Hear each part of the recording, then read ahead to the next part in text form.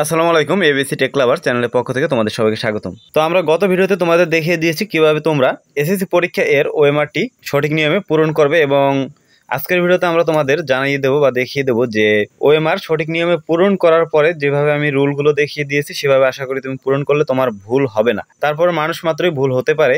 সেক্ষেত্রে যদি ভুল হয়েও যায়, সেক্ষেত্রে তোমরা কীভাবে তার সমাধান করবে তাই আজকের ভিডিওতে আমি বিস্তারিত করে দেখিয়ে দেবো। এবং যারা ওএমআরটি সঠিক নিয়মে পূরণ করতে চাও, তারা আমাদের পুরো ভিডিওটি দেখে আসতে পারবে। সেই ভিডিওর লিঙ্ক আমি এই ভিডিওর ডিসক্রিপশনে এবং আই বাটনে দিয়ে দেবো। তো কথা না বাড়ি আমরা মূল ভিডিওতে চলে যাব। তো মূল ভিডিওতে যাওয়ার আগে যারা এখন আমাদের চ্যানেলটি সাবস্ক্রাইব করনি, অতি শীঘ্রই আমাদের চ্যানেলটি সাবস্ক্রাইব করে পাশে থাকা বেল আইকনটি বাজিয়ে দাও। তো তোমরা এমন একটা ওএমআর পেয়ে যাবে, আমি যেখানে বলছি প্রথম অংশ, দ্বিতীয় অংশ, তৃতীয় অংশ। পরের দুই অংশ তোমার কোনো কাজ নেই, তোমরা প্রথম অংশে তোমাদের টোটাল কাজ। তো সঠিক নিয়মে পূরণ করার যে রুলগুলো, সেটা তো তোমাদের আগে আমি বলে দিয়েছি। তো সঠিকভাবে কীভাবে তোমরা পূরণ করবে, তা আমাদের পরবর্তী ভিডিওতে দিয়ে দিয়েছি। সেক্ষেত্রে এই বিষয়ে এখানে বিস্তারিত আলোচনা করব না। তো আজকে ভুলগুলো নিয়ে আমরা এখানে আলোচনা করব।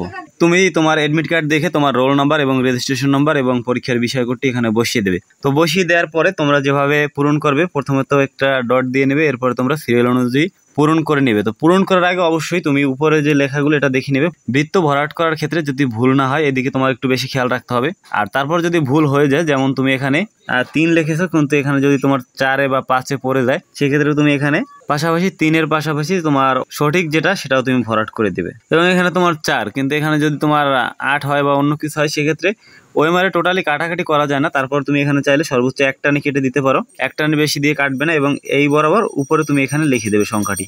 সংখ্যাটি দেওয়ার পর তুমি যদি চার ভরাট করে থাকো, সেক্ষেত্রে তুমি এখানে পাশে আবার ভরাট করে দেবে নতুন করে, আর তুমি এখানে চারটাকে কেটে দেবে। তো তুমি এক টানে কেটে দেবে প্লাস হচ্ছে তুমি যেটা তোমার ভুল হয়েছে, ওইটার পাশাপাশি তুমি আর একটা ভরাট করে দেবে, কিন্তু কখনো ভুল করে অনেক সময় আছে, আমরা এভাবে কোর্স করে দিই।